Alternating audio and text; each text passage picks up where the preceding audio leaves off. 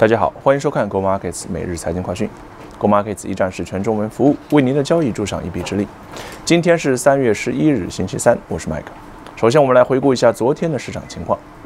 那么，在遭遇了星期一晚上啊重大回调之后呢，应该来说呢，呃，全世界的股市都是全世界的民众呢，把目光都聚集在啊周二和周三美股的走势上。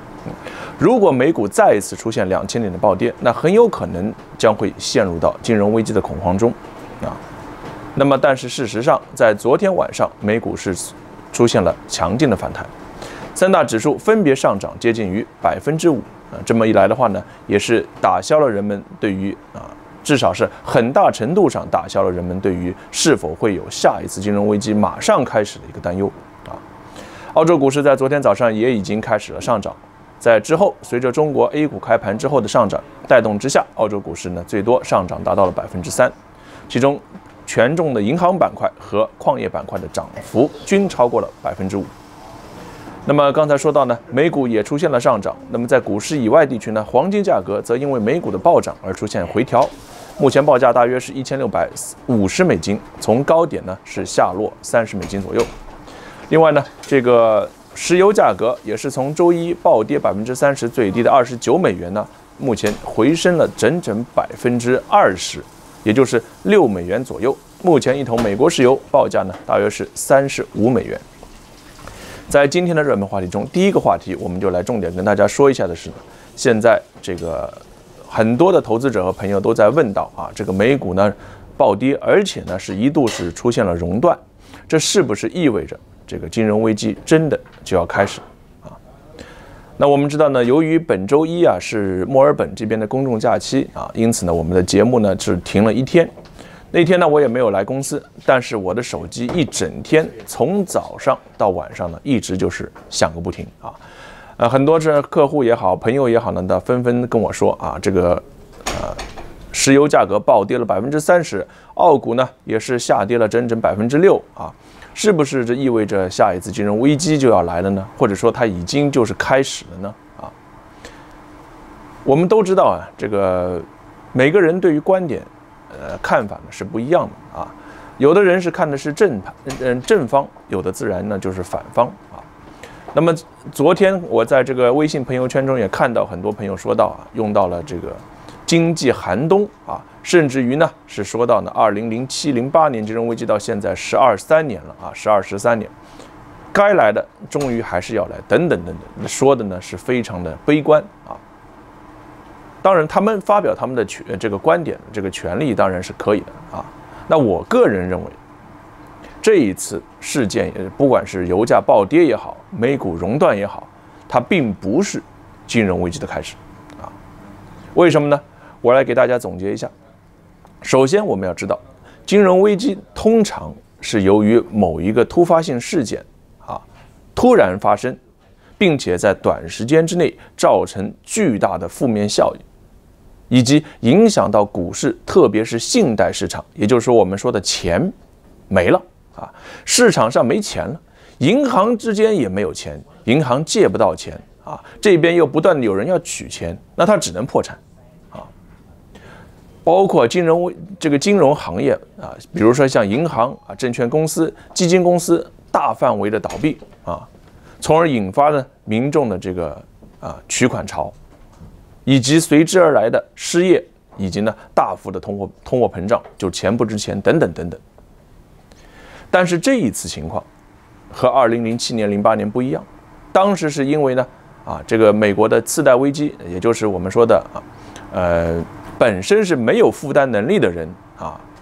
买了很多的房导致的。但是这一次，没有银行倒闭，也没有哪个国家的股市崩溃，啊，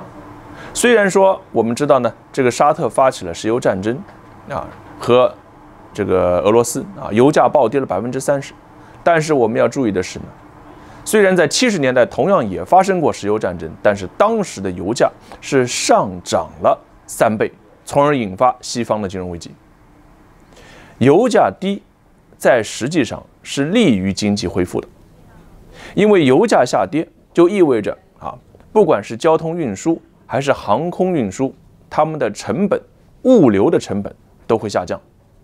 也就是运输的成本下降，能够帮助到商家，从而降低商品的价格，消费者也能够从中获利，大家也愿意多开车出去。所以，虽然我们知道这次油价突然是暴跌了百分之三十，给大家更多的造成了一个心理上的恐慌，但是实际上，我并不觉得它对于全世界的经济有负面的影响。油价的大涨是损害经济的，油价的大跌实际上是有利于消费者和商家的。当然，由于这次的突然暴跌，我刚才说到造成了一个心理上的恐慌。因此，大家非常的这个过度的担忧和焦虑。我要说一点的是呢，实际上上从二零零六零七年开始，中国的经济已经开始放缓了，大家都知道啊。那么不仅仅是中国政府，包括了美国、日本和欧洲不同的国家的政府和央行，其实呢都已经意识到了问题，同时大家也都做好了政策性的准备啊。那么既然都做好了准备，如果情况恶化，啊，什么降息的就会降息，印钱的会印钱，减税的会减税，这样突然性爆发金融危机可能性就很低。这就好比是公司里面有一个人感冒，其他人看到他感冒之后，也会准备好口罩啊，买好感冒药，以防万一啊。所以我说到呢，金融危机最大的一个特点就是它的突发性和它短时间恶化。对于这两点来说，目前各国已经做好充分准备的情况之下，突发性和短时间恶化的可能，我觉得并不高。这也就是为什么我觉得这一次并不是金融危机的开始。也许这次冠状病毒的疫情会拖累到全球的经济，啊，原本是增长的可能不增长，原本不增长的现在要负增长，没错。但是这就好比是呢。这是连续不断的阴雨天，但是它不会发生短时间的雷暴或者是龙卷风。这个呢是我的观点，相信在未来的几个月时间能够验证我们的对还是错。第二个话题来说一下澳洲的股市，特别是我们说由于油价暴跌啊，大家呢纷纷提到呢澳洲的这些能源股啊暴跌了这么多，什么时候可以进场？那么我知道呢，油价由于突然下跌了百分之三十呢，使得澳洲很多的这个石油和能源股呢也深受打击啊，尤其是比如说必和必托啊，像 OSH，包括呢像生产天然气的 WPL 等等，股价下跌都超过了百分之十以上啊，非常的夸张啊。那么在这些股票中，我一个人一直是比较看好的呢，就是必和必托，也就是 BHP，全世界最大的铁矿石生产商。那么虽然说它是铁矿石生产商，实际上它的这个每一年的盈利啊，是来自于四种不同产品，分别是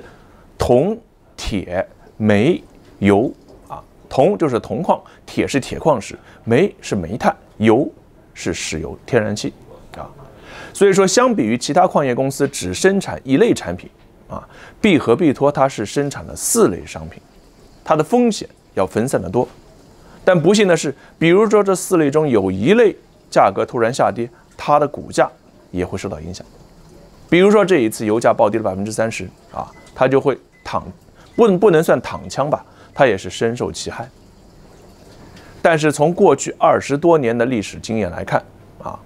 任何时候，我说的是任何时候，在二十多年时间里，必和必托的价格股价低于三十澳元，都是一个长期可以进场的时候。有朋友要可可能有朋友要说，它时间毕竟只有二十多年呢，过去的二十多年不一定能够是未来的走势，没错，是这么说。但是我们要知道，核心也就是必和必托为什么在过去二十多年中能够连续增长，其实就来自于中国连续二十多年的高速城镇化建设。所以这一次我们知道，虽然中国深受疫情影响。包括了整个 GDP 的预期也在下降，但是从目前的情况来看，中国已经发布了全国范围之内的重新一轮大规模基础设施建设。这一次规模的力度啊，达到了三十五万亿几乎是二零零八年四万亿的十倍之多。那我要说的是呢，啊，虽然基础设施建设呢，我不敢保证它是不是要用到油，但是我们可以确定的是，基础设施建设肯定会用到钢铁、煤炭、铜，啊，因此这三类产品又恰恰是必和必拓四大金刚中的三个，所以只要中国这次大规模基础设施建设的时间持续时间。达到一到两年，那么我认为，未来的一到两年之内，必和必拓的股价将会得到强劲的支撑，因为对于资源的需求，也许是人为制造的，但至少这个需求将会是实实在在的。换句话说，只要中国的经济没有崩溃，那么任何时候低于三十澳元买入必和必托。这一条历史经验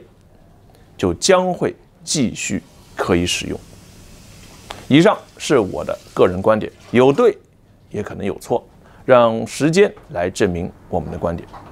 感谢您一直支持我们的节目。如果您有任何问题和疑问，随时拨打电话墨尔本总部零三八六五八零六零二零三八六五八零六零三。感谢您的收看，我们下期节目再见。